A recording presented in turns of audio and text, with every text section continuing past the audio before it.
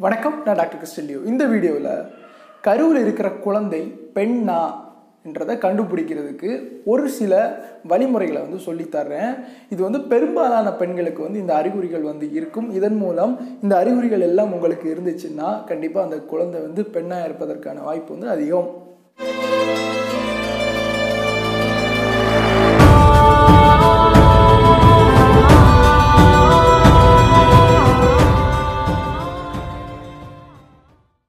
First அறிகுறின்னு பார்த்தீங்கன்னா morning sickness அதிகமாக இருக்கும். அதாவது ஃபஸ்ட்டு ட்ரைம்ஸ்டர் முதல் மூணு மாதத்துக்கு வந்து morning sickness nausea vomiting headache tired இதெல்லாம் வந்து ரொம்ப சிவியராக இருக்கும். ஸோ எதனால் இந்த மார்னிங் சிக்னஸ் அதிகமாக வந்து பெண் குழந்தை இருக்கும்போது வருதுன்னு பார்த்தீங்கன்னா உடம்புல ஏற்படுகிற ஹார்மோன் இம்பேலன்ஸ்னால இந்த மார்னிங் சிக்னஸ் வந்து அதிகமாக இருக்குது ஸோ செகண்ட் அறிகுறின்னு பார்த்தீங்கன்னா ஹார்ட் ரேட் ஹையாக இருக்கும். அதாவது நூற்றி நாற்பதுக்கு மேலே எப்போவுமே தொடர்ச்சியாக அந்த குழந்தையோட ஹார்ட் பீட் இருந்துச்சு வந்துச்சுன்னா அது பெரும்பாலான நேரங்களில் அது பெண் குழந்தையாக இருக்கும். அதோ அதோட அந்த ஹார்ட் பீட் வந்து நூற்றி நாற்பதுலேருந்து நூற்றி அறுபதுக்கு இடைப்பட்ட நேரத்திலே தொடர்ச்சியாக இருக்குதுன்னா நம்ம இந்த மாதிரியான முடிவுக்கு வரலாம். அடுத்தது கிரேவிங் ஸ்வீட்ஸ் எப்போவுமே இனிப்பான பண்டங்களை வந்து சாப்பிடணும் சாப்பிடணும் சாப்பிடணும்னு கேட்டுகிட்டே இருப்பாங்க. ஸோ அதை வாங்கி கொடுக்க கொடுக்க அதை சாப்பிட்டுட்டு திரும்பவும் இனிப்பாக என்னென்ன உண்டோ அது எல்லாமே சாப்பிடணும் சாப்பிடணும்னு கேட்பாங்க. இதை தொடர்ச்சியாக நீங்கள் பார்த்துட்டு வரீங்க. இந்த அறிகுறி இருந்து வந்துச்சுன்னா அதுவும் பெண் குழந்தைக்கான ஒரு அறிகுறி. அடுத்தது ஸ்ட்ரெஸ் லெவல் அதிகமாக இருக்கிற பெண்ணாக இருந்தால் அந்த பெண்ணுக்கு பிறக்கிற குழந்தை வந்து பெரும்பாலான நேரத்தில் வந்து பெண்ணாக பிறகுவதற்கான வாய்ப்பு வந்து அதிகமாக உண்டு.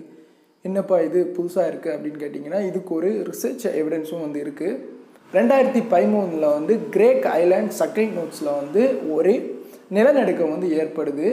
அதுக்கு அப்புறமா அந்த ஐலண்டில் பிறக்கிற குழந்தைகள் பெரும்பாலான குழந்தைகள் பெண் குழந்தைகளாக வந்து பிறக்குது. ஆண்களோட ரேஷியோ வந்து குறையுது. ஸோ அப்போ தான் வந்து இந்த ரிசர்ச்சை வந்து பார்க்கும்போது ஸ்ட்ரெஸ் அங்கே இருக்கிற எல்லா பெண்களுக்குமே இந்த எர்த்துக்கோக்கு நினச்சி நிலநடுக்கத்தை நினச்சி வந்து பெரிய அளவில் வந்து ஒரு பயமும் ஒரு பீதியும் இருந்த காரணத்தினால இது வந்திருக்கு அப்படின்ற அந்த ரிசர்ச் முடிவு வந்து வந்திருக்கு. ஸோ அதனால் ஸ்ட்ரெஸ் பெண் இருக்கிற நேரங்களில் பெரும்பாலான நேரங்களில் அவங்களுக்கு வந்து பெண் குழந்தை பிறக்கக்கூடும்.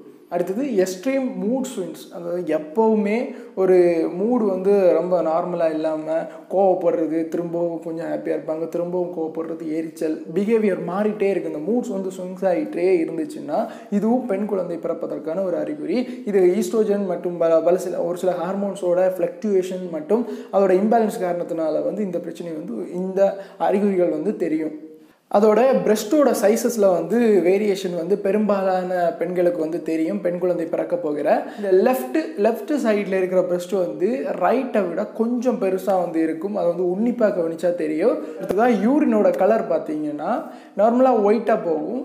ஆனால் பெண் குழந்தை கேரி பண்ணுற உமன்ஸுக்கு வந்து பெரும்பாலான நேரத்தில் வந்து டார்க் எல்லோ வந்து போகும். ஸோ அதை வந்து கவனித்து பார்த்தா தெரியும். ஸோ இந்த அறிகுறியெல்லாம் வந்து நீங்கள் கம்பைன் பண்ணி பார்த்தீங்கன்னா எல்லா அறிகுறிகளும் கிட்டத்தட்ட மேக்ஸிமம் எல்லா அறிகுறியும் பாசிட்டிவாக இருக்குன்னா பெரும்பாலான நேரத்தில் வந்து நீங்கள் உங்கள் வயத்தில் இருக்கிற குழந்தை பெண் குழந்தையாக இருப்பதற்கான வாய்ப்பு வந்து ஒரு தொண்ணூறு சதவீதம் வந்து உறுதியாக வந்து சொல்லலாம். இந்த தகவல் உங்களுக்கு பயனுள்ளதாக இருந்திருக்கும் நம்புகிறேன். பயனுள்ளதாக இருந்தால் உங்கள் நண்பர்கள் மற்றும் ஒரு நம்பி கொள்ளுங்கள். மற்றும் பயனுள்ள தகவல் மூலம் உங்களை சந்திக்கிறேன். And then bye from Leo